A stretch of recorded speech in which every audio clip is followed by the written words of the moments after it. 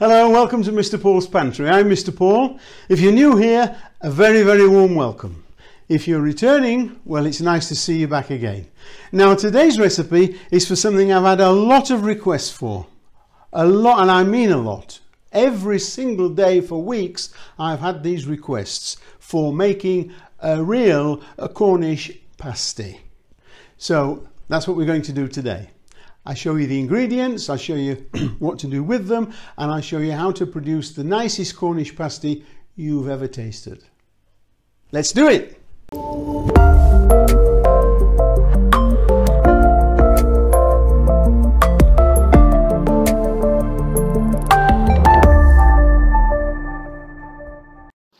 And before we go any further, I'd like to give a shout out to my Patreon supporters.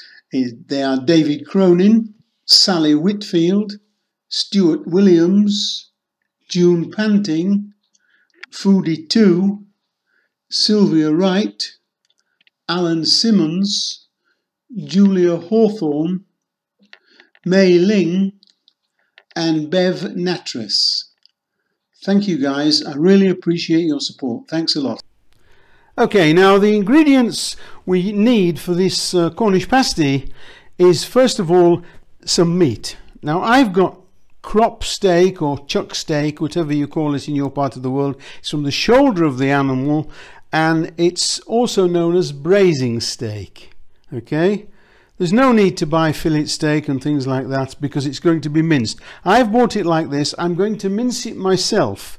Now, if you haven't got a mincer, you go buy the meat at the butcher's and then ask him to mince it for you. I don't recommend you go to a supermarket and buy a packet of ready minced beef. That's not a good idea in some supermarkets. So get the meat and then ask the butcher, would he kindly mince it for you? And he will do that. That's the beauty of having uh, a local butcher who you get to know. So we've got the meat. Uh, I'm using 500 grams here, half a kilo.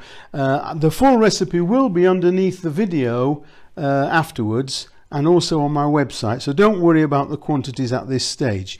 We need some potatoes. We need onion. Now that's quite a large onion. I'll probably only use half of that one. And some swede. Now swede is essential if you want to make an authentic Cornish pasty. You can omit it if you want, but it will alter the taste of the thing. A little swede makes all the difference. I just bought a tiny one today and they're difficult to buy here in Spain because they are a winter vegetable and of course we're not there yet so these have been imported from somewhere I think from England but I'm not sure from where and a few breadcrumbs uh, I'll give you the quantities and the only seasoning we're going to use in all this is salt and white pepper nothing else so there just to recap the beef, potatoes, onion, swede, a few breadcrumbs, salt and white pepper, not black pepper, okay? So I'll get on with preparing the vegetables and then I'll see you shortly. Now often getting asked how is the best way to dice an onion. Well, there's only one way. First of all, I cut my onion in half before I peel it. I don't remove the root there. I leave that on. I take the top off and then I peel from the top with my fingers and take the outer skin off like that. All I do then is cut, have the root to my left and I cut down there as near to the root as I can I don't know if you can see those little slots like that. And then all we do is we cut downwards and it automatically comes in little dices for you. Don't start doing what some of the fancy chef start showing you to do. You'll cut your fingers. Start telling you to do things like this. Cut it across there and there. That's not necessary. They just do that to make it look like they're very clever with a knife. That's all. It's not necessary. Just do the cuts that I've shown you and when you get to the end just take that bit off there throw the root away and there you've got your lovely diced onions and that's just a nice size to go into the Cornish pasty. Right, now when we're wanting to dice the potatoes up like this for the Cornish pasty, it's a simple matter of taking a piece off the side like that so the potato will sit flat. See? Then down. And then as if you're making chips, one, two, three,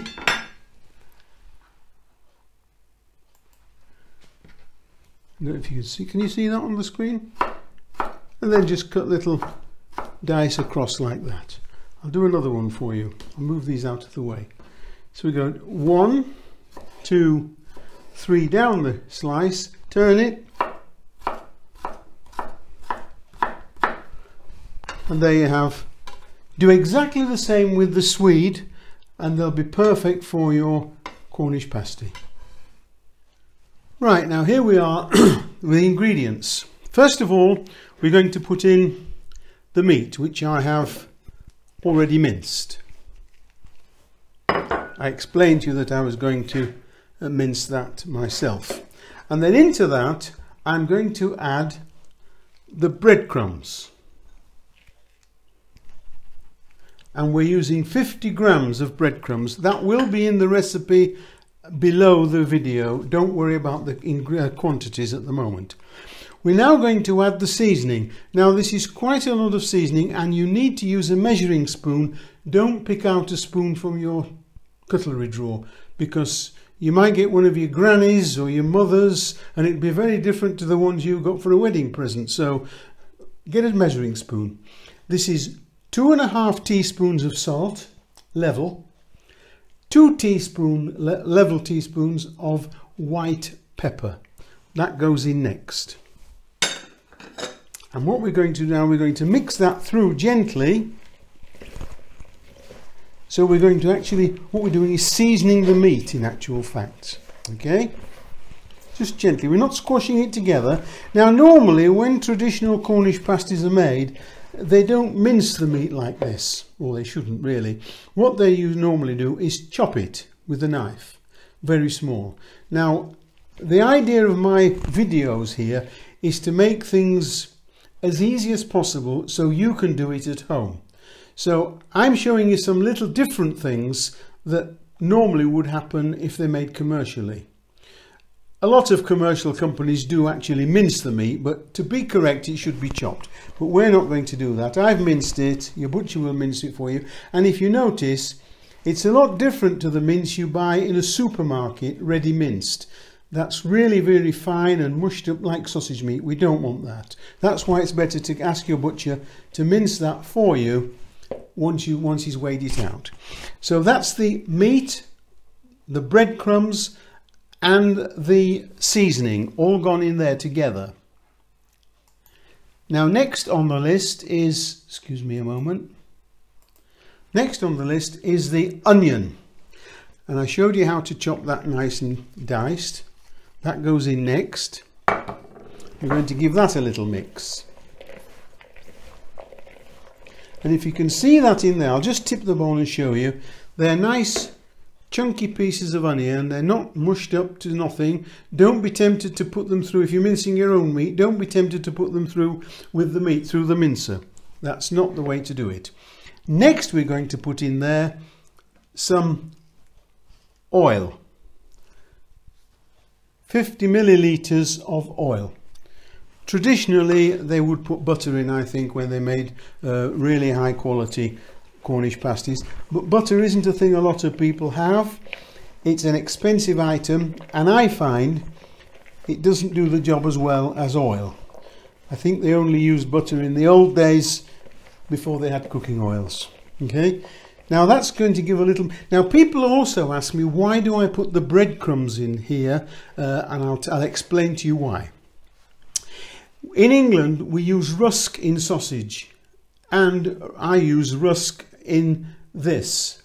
rusk is made from flour, water and fat, right? And what it does, in during the cooking, it absorbs the fat in the meat and any moisture, any juice from the meat, and it holds it inside the sausage or the Cornish pasty so that when you eat it, it hasn't boiled out and the inside is dry. It's nice and juicy inside. That's all that's in there for. It's not there to make it, the meat go any further or anything like that. It's just to absorb some of the juices of the meat to hold it in the pasty. Now once we've got this far, we're now going to add the swede. And I've done the swede exactly like the potatoes and we're going to add the potatoes as well. There we are. And I'll give that a mix.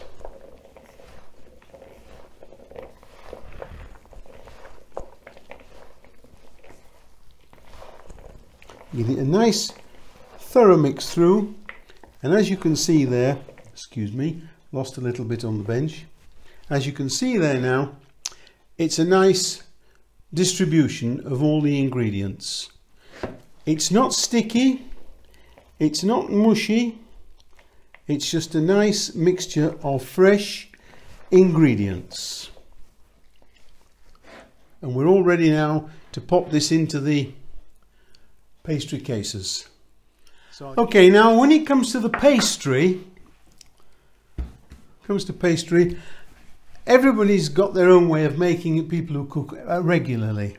If you haven't got a regular recipe of use there I will put a link below the video to my pastry recipes this is short crust pastry short crust okay it's not sweet it's not puff pastry it's just short crust pastry which I use for all my pies and tarts and things like that and when you're making your pastry, it's easy to make it too wet. Be very careful. When you take a piece of pastry that you made, if you just pull it like this, it should just break apart. It shouldn't stretch at all. If it stretches at all, like bread dough, you've mixed it far too much. Okay, as soon as you get the ingredients together, just push it together with your hands, like this. Pop it in a bit of cling film, and stick it in the fridge for half an hour, to rest. Okay, now I'm going to put a little flour on the board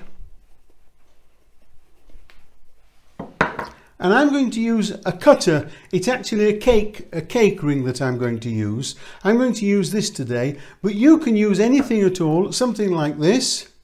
Upturn it on your pastry and cut round it if you haven't got a large cutter. Okay, that's this is what I used to use in the in, in, in the bakery. Although we did have a machine for making pasties. Uh, sometime I'll show you that. I have it tucked away somewhere in the garage. but at the moment I'm going to use this cake ring, okay? And I'll put it on there and this will just tell me the size that I need the pastry out to roll out to. So we'll start in the middle start it with a I'll just move this out of the way and that always roll your pastry gently and let the rolling pin do the work. Don't push it and press on it. Just gently let the rolling pin do the work. I need a little bit of flour it's sticking on my pin a little bit. So I want to get it out to the size I've marked on the table.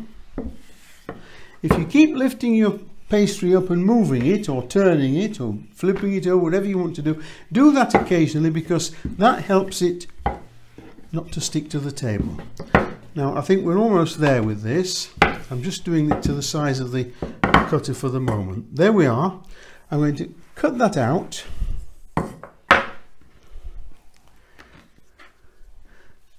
that goes back in to be re-rolled. Now this is the piece of pastry we're going to make the pasty from. You can make yours whatever size you want. You can make them smaller or larger. It makes no difference. Right? Okay, now here's the filling. Now I use one of these for filling my pasties. I like to do that when I'm making cupcakes or things like that. A different size of these just gives you a, a uniform fill each time. So I want to take this nice scoop and pop it in the middle of the pasty. Perhaps put a little bit more in there, right? And we're going to take a pastry brush and a drop of water and just go round the edge there. Not too much, just dampen it and that'll just help it seal together. And we're going to take the back and the front up together to meet in the middle like that. Then take it down to the side and take it down to that side as well. Just move that out of my way. And then we need to crimp the whole thing and you can either just crimp it like this like that or I'll show you another one and then I'll show you the different crimps you can do with it. Okay, now once you've got it to this stage, fold it over, you can do what Granny used to do, just go around with a fork like that, if you want to crimp it nicely, and leave it like that and cook it like that. You see? That's like that. But what we normally do in the shop is we stand it on its end like that. Turn it round, sorry, it's got flour on that side. Dust it off. Turn it on its end like that, and then we do what we call a rope crimp like this.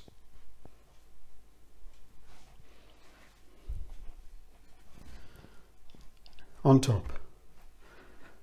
And then that goes on your tray, egg washed, and so you can do whatever sort of a crimp you like. It makes no difference. So keep going until you've got your half a dozen or whatever you're going to make. Uh, and depending on the size you make them, it will depend, of course, how many you get. And then they'll go on a baking tray. I'll do a few more and I'll show you once they're on the tray and going in the oven.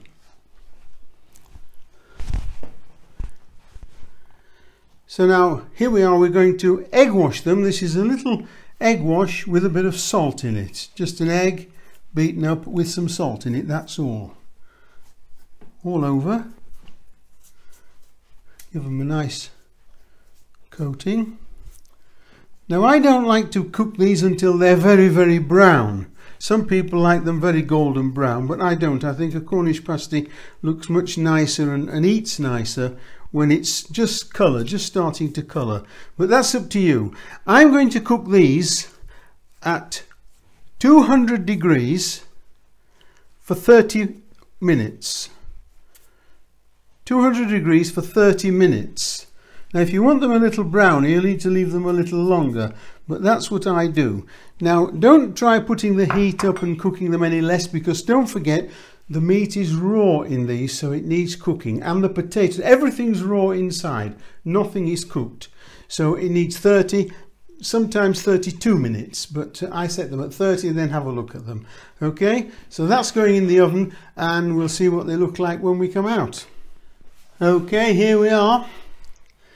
That's 32 minutes in the oven and you can see how they've all puffed out now. The, the potatoes are swollen up and they're looking very, very nice. Now I'm going to let those cool and uh, we'll open one, let you have a look inside. And I might even force myself to have a taste. Okay? Well, here they are, nicely cooled. And I think we'll just open one and let you have a look inside. Inside.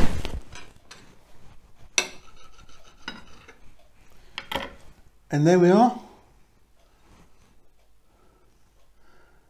Beautiful, genuine Cornish pasty with meat, onion, potato, swede, salt and pepper, nothing else. And I'm just going to have a nice little taste of that now, okay?